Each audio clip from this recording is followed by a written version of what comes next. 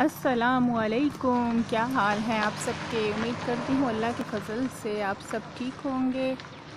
और अल्लाह ताला आप लोगों को जहाँ भी रखे, अपनी हिफ्ज़मान में रखे। आमीन सुम आमीन। यहाँ पे मैं आपको एक और यहाँ पे दरख्त दिखाने लगी हूँ। आलू बुखारे का, ये देखें। आलू बुखारे कितने लगे हुए हैं, माशाल्लाह।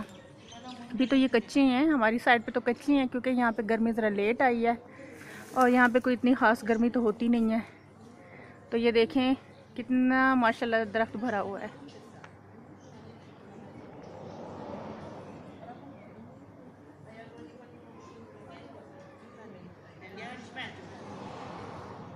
पहले भी मैंने पिछली वीडियो में भी आपको दिखाया था, ये देखें, माशाल्लाह ऊपर तक ये टहनियों पे लगे हुए ये देखें। अभी तो ये कच्चे हैं, ज़रा ये जब पक जाएँगे अच्छे तरीके से तो मैं उसकी भी वीडियो आपको दिखाऊँगी। यहाँ तो ये चीज़ें आम हैं, बहुत ज़्यादा होते हैं यहाँ पे। अभी तो ग्रो कर रहे हैं, ये देखें। और इसी के पीछे ये, आपको ये दरख्त मैं दिखा ही चुकी थी।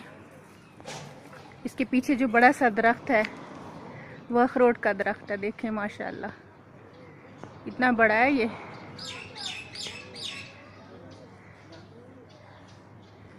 और साथ ही इसके ये दरख्त है।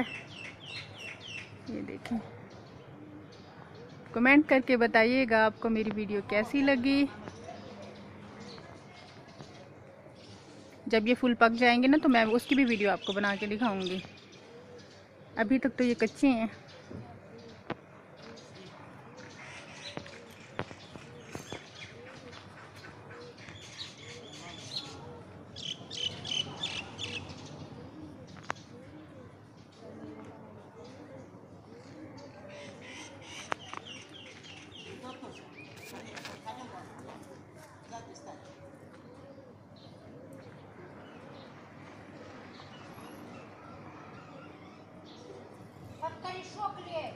Держи поближе, низко делай. Ты как сыкаешь стоит.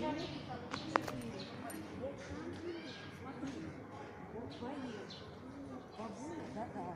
Четыре моя. Что ты мне рассказываешь? Ты же ел. Нет. Халида, Халида.